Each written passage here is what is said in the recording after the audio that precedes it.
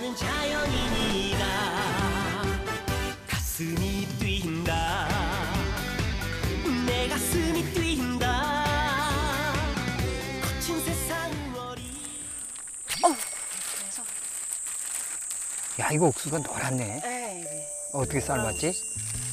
노랗게 맛있게 이렇게 촉촉하게 산에 하면 이제 꼬시래죠. 네? 고시 고시래. 고시래가 뭐예요? 이렇게 해서 떼서 예, 조금 떼가지고 이제 아.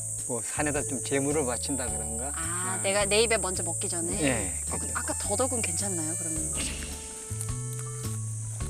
아예 그런 건 이제 산에서 주는 음식이기 때문에 아, 예, 그냥- 외부 음식 금지 아, 응. 음식점 갔을 때랑 비슷하네요 응, 그치. 딴 외부 음식 가져오면 안 되듯이 기브앤 테이크라고 뭐 이렇게 줘야 받는 아, 거 네. 그래서 산에 가서 절도 하고 아 예. 절도 하고 음, 마음가짐이 중요하네요 음, 그냥 막 또- 욕심으로 캐는 게 아니라 아, 욕심으로 하다 보면 산에 가면 받쳐요. 음, 화를 입어.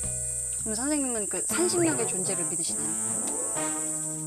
진짜 명엠씨다 가았나. 나 지금 감동받았어.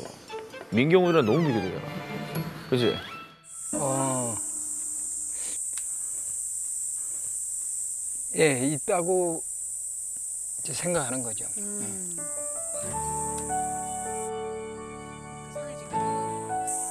근데 선생님도 약간 눈빛이 약간 예술가의 약간 눈빛이 있으신 것 아유, 같아요. 고맙습니다. 예. 약간 그 미술 쪽에 좀 젊으셨을 때 혹시 관심이 있으시진 않았는지.